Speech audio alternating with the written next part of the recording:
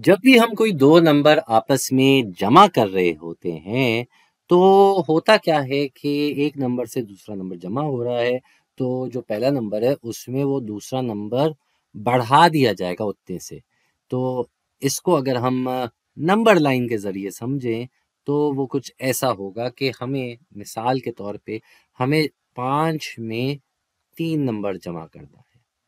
हमें 5 में तीन नंबर जमा करना है, तो समझे हम अभी इस नंबर 5 पे खड़े हैं और हमें तीन नंबर जमा करना है। तो जब भी जमा करते हैं तो नंबर लाइन में इसको समझने का तरीका ये होता है कि हम उतने नंबर आगे जाते हैं जितना भी जमा हो रहा हो। अब यहाँ तीन जमा हो रहा है तो हम तीन नंबर आगे जाएँगे। ये एक, ये दो और ये तीन तो हम तीन नंबर आगे आगे हम आगे नंबर आठ पे। तो हमारा जवाब हो जाएगा आठ ठीक है जी, ये बात तो हो गई बिल्कुल सही। अब इस वीडियो में जो बात मैं करना चाह रहा हूँ आपसे, वो दरअसल ये है कि अगर हम 5 में मनफ़ी 5 जमा कर दें, पाँच में मनफ़ी 5 जमा कर दें, तो क्या होगा? तो इसको देखने के लिए हम नंबर लाइन की मदद ले लेते हैं और इसको हटा देते हैं जो यहाँ लिखा हुआ था। खैर, हम हैं नंबर 5 पे और हमें इससे मनफ़ी 5 जमा करना है। तो मनफ़ी 5 का मतलब क्या होता है कि हम 5 नंबर कम कर रहे हैं और ये जो मुस्बत का निशान था जमा करने का, वो इस मनफ़ी के निशान से अलग होने की वजह से ये मनफ़ी का निशान ही बन जाएगा। तो दरअसल हम 5 से 5 नंबर घटा रहे हैं, इसका ये मतलब होता है। तो इस वजह से हमारा जवाब क्या होना चाहिए?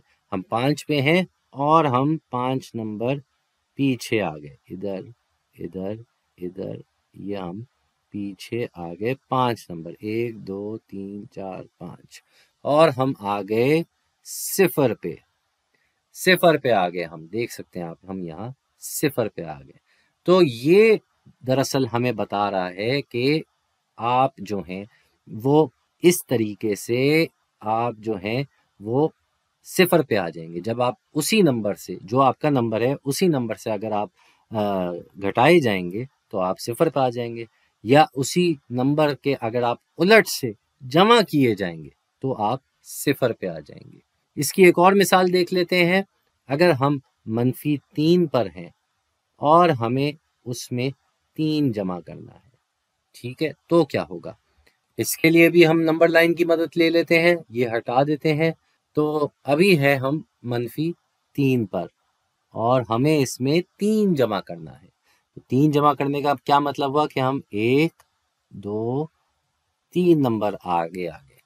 तो हम फिर से कहाँ आ गए? सिफ़र पे आ गए। तो हमारा जवाब होगा सिफ़र। अब ये सब बातें बताने का मकसद आपको ये था कि ये जमा की एक खसूसियत से तारुफ़ मैं आपका करा रहा हूँ। वो ये है कि किसी भी नंबर को उसके उलट से अगर जमा किया जाए तो जवाब हमेशा सिफ़र आता है। और इस खसूसियत को हम कहते हैं एडिटिव इनवर्स प्रॉपर्टी। तो एडिटिव का मतलब जमा करना, इनवर्स का मतलब उलट और ये इसकी खसूसियत है कि किसी भी नंबर को उसके उलट से जमा करोगे तो सिफ़र पे आप पहुँचोगे।